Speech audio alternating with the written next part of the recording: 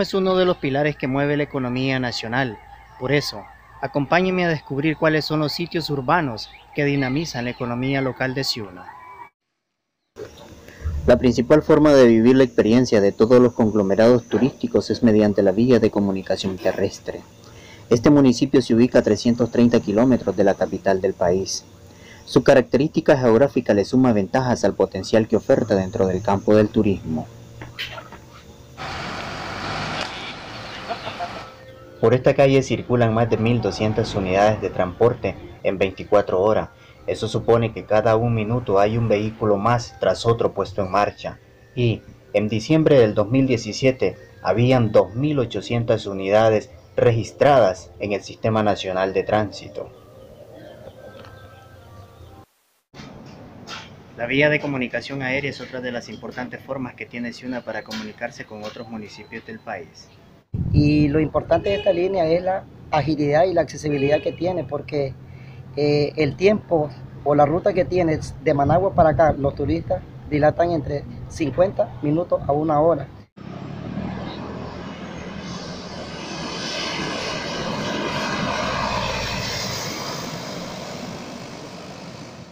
Entonces el turista está entrando hacia una, eh, en esta villa por el grado de tiempo, la confiabilidad y la accesibilidad que presta eh, la línea aérea La Costeña.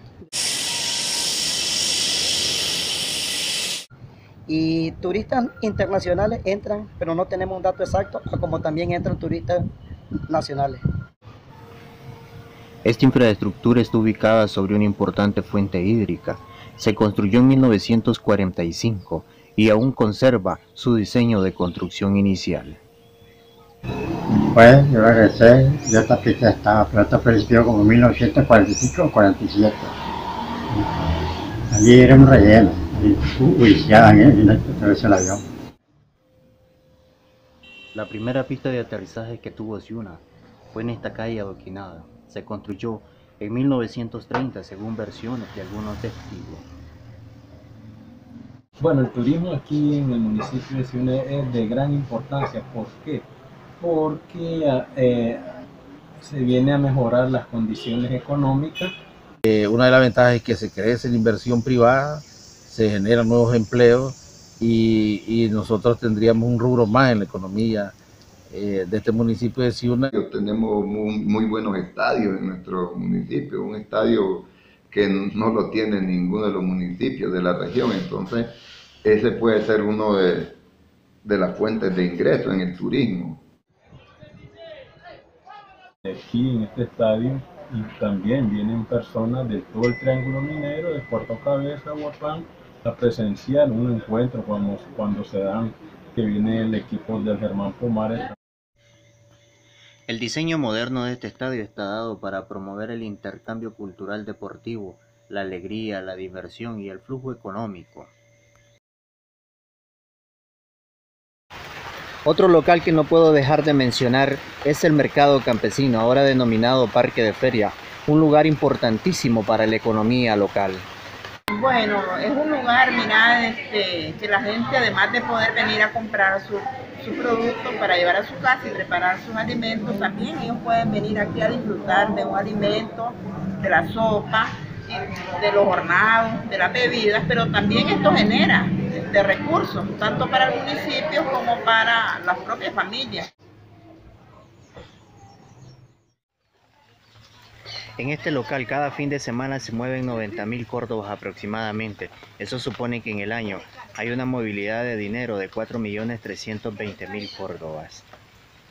Tiene una gran importancia porque aquí eh, se da a conocer la gastronomía que tiene aquí el municipio.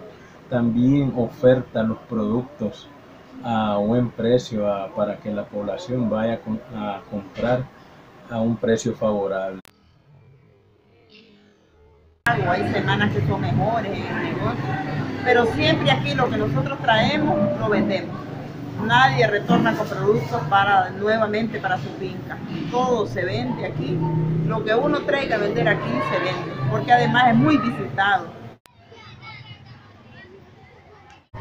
El primer patrimonio cultural que se ha convertido en Ciuna es la parroquia Señor de Esquipula. La Iglesia Católica es un patrimonio cultural y que se ha declarado patrimonio cultural a nivel nacional. ¿Por qué? Una por la estructura que tiene la Iglesia Católica. La Iglesia Católica se llama Señor de Esquipula y por su infraestructura. Han pasado más de ocho décadas y la iglesia ha conservado el diseño de la infraestructura. La mayor parte de la madera sigue siendo la misma desde su construcción. Esa historia le dio valor al mérito. El gobierno municipal santinista la declaró patrimonio cultural en enero del 2017. Este sitio turístico no solo es importante por la religión, sino por la historia que hay detrás de ella. Eh, su misma historia lo ubica como un atractivo turístico en, su, zona urbana.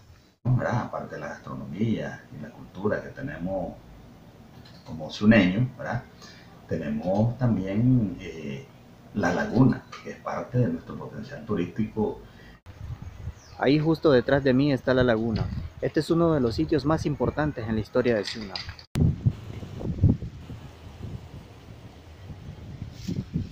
Tenemos todo el potencial, pero sí nos hace falta invertir un poco más en embellecer esos sitios y darle, ¿cómo te diera yo? Ese confort, ese confort donde alguien llega pero quiere estar bien. Por hecho, el hecho histórico de ser una empresa, de, ser una mina aquí, eh, se abren muchas oportunidades para, el turismo, de su historia.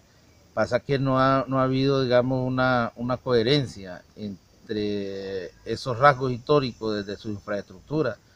Puedes hacer excursiones en todas las lagunas, alrededor de las lagunas, ahí a nivel municipal.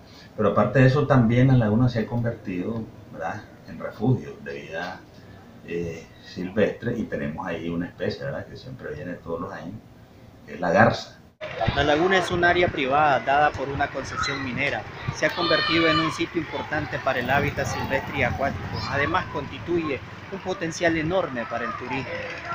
Hay mucha gente que quiere venir a hacer turismo científico, como por ejemplo el avistamiento de aves. La avifauna ha sido uno de los pilares fundamentales en, turismo. Algo eh, bueno le brinda este lugar a estos animales que todos los años vienen eh, y tenemos que investigar, ¿verdad? Si vienen a desovar. Se puede observar al fondo allá unas tortugas sobre el árbol que está caído y una garza blanca. Y como un municipio que fue un enclave minero, tenemos que conocer la historia primero. Tenemos que tener gente que sepa la historia, cómo funcionó.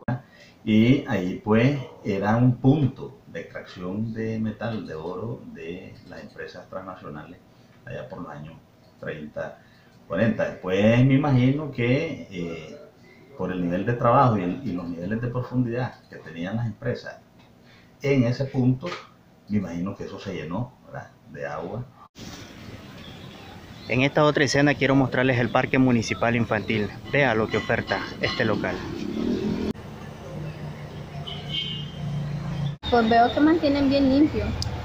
Limpian las hojas de los árboles, la bolsa, todas esas cosas.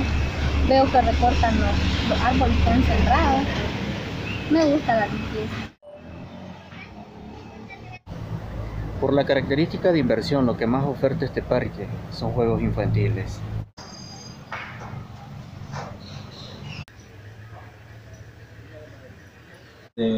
cuando hay actividades tanto como deportivas, religiosas y de otra índole, vienen visitantes de otros municipios. Este, bueno, primero las ventas son buenas, son días, son variables, pues solo un poco los días que están malas, pero siempre pues este, las ventas son buenas. La ciudad de Ciuna tiene una red vial de 40 kilómetros aproximadamente y una población urbana de 30.000 habitantes según el Censo Nacional del 2005 y presenta serias dificultades con el transporte urbano. Aquí no hay transporte urbano, el único transporte es el taxi.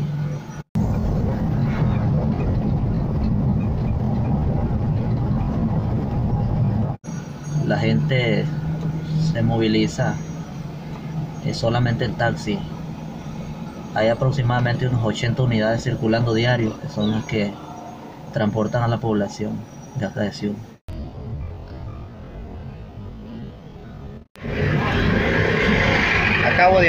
Taxi para hacer un recorrido por el mercado de Ciuna.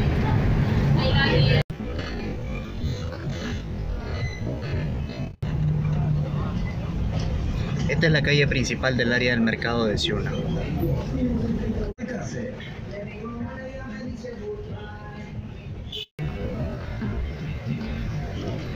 La identidad es uno de los pilares fundamentales de la cultura de un pueblo.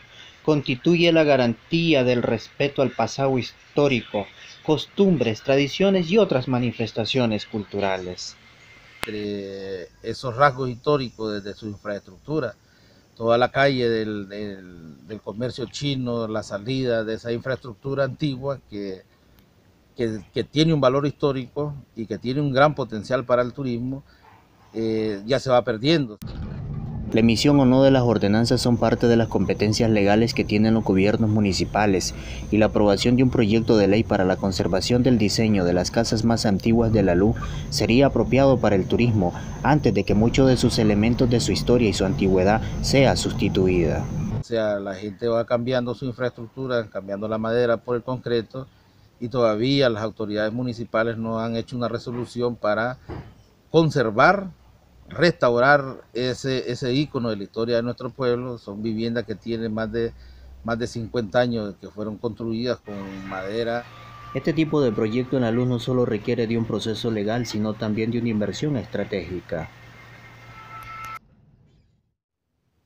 La hotelería también es uno de los principales pilares del turismo, porque hay mucha, mucho turismo de edad avanzada ya que vienen de Estados Unidos, de Europa, los mismos chinos.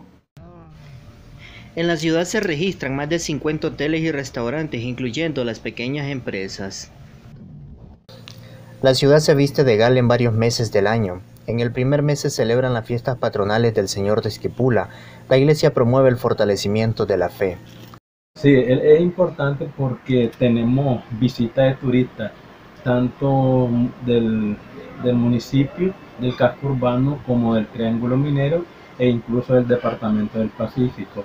Eh, cosas principales, el Palo de Mayo que se hace en Mosquitón, es una de las fiestas que también se ha convertido en el icono de la región autónoma del Atlántico Norte, el icono del país. Destacan la cultura costeña, la gastronomía es lo que más se conserva. Ese evento es para rendir homenaje a la germinación de la semilla como parte del principio de la naturaleza. En septiembre se conmemora la independencia centroamericana. Ese evento se acompaña de las montaderas de toro. Son, son referencia nacional, una de las fiestas de toro más grandes que, que hay en toda la región. Y en diciembre, las efemérides terminan glorificando a la Virgen María. El turismo no ha sido una casualidad en esta ciudad, cuyo fortalecimiento depende de la inversión estratégica con medidas correctivas.